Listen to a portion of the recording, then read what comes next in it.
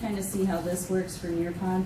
What you can do as the teacher, so you have your computer at your desk, if you find an answer you really like to a question, I can share it anonymously. So obviously you see who said this, but it should pop up on your screen how they answered the question. So that's kind of a neat way to get your kids involved. Kids usually get excited, even though it's anonymous. They'll usually say, "Oh, this that's mine." Really good. That's mine, Okay, there you go. just for the record. There you go.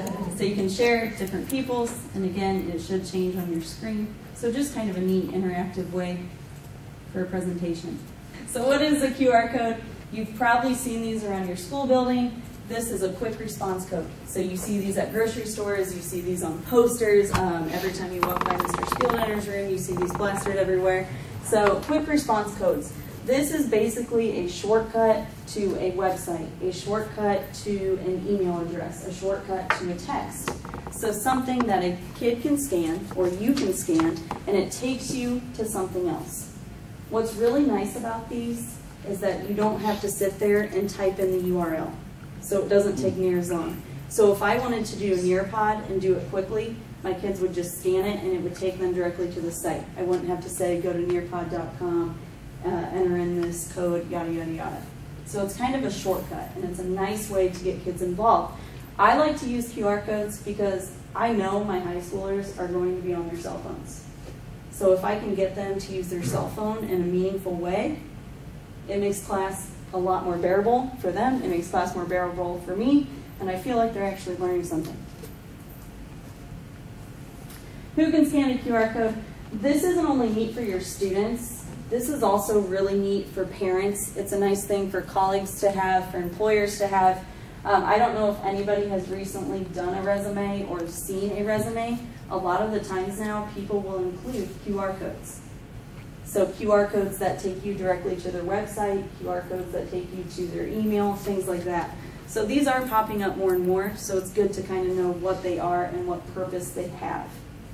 Also neat for parents. So if you ever send a letter home to parents, if you ever send an email out to parents, and you want to include a link to homework help or a link to ProgressBook, you can do that with a QR code.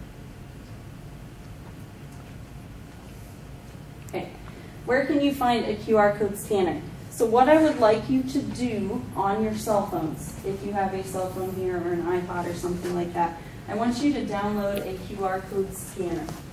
Some of you might already have them. If you have a barcode scanner, that will work. But what you can do, you can type into your App Store QR reader.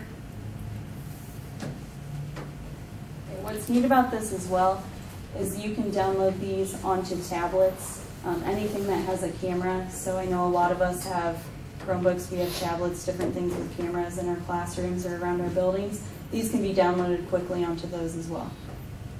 Benefits of QR codes in your classroom. Again, what's really nice about this is it's quick, it's easy, it can take kids to these sites, it encourages communication, collaboration. Because I use the same one. So some of the things I do in my classroom, I do a lot of station work or a lot of work where I have my students actually get up and scan QR codes and you'll be amazed at who actually starts talking to who. So it's just kind of nice. It's a nice way to get people, uh, kids up and moving. I'll get you up and moving in a little bit, which I know you won't like, but I am sorry. I'm trying to make it fun and interactive. You see, it's been good for, like you said, station work. Mhm. And we'll talk more about ways to use it.